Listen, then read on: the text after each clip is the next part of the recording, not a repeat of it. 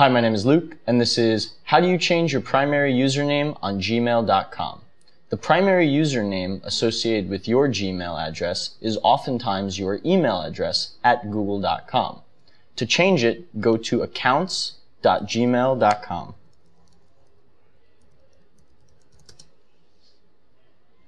Once you've logged in with your security credentials, under Personal Info and Email and Phone, click the Edit tab. Next, under Other Emails, click Edit. Here at the bottom, you can add new alternate addresses to use as your primary, as well as a nickname for your username. And that's it.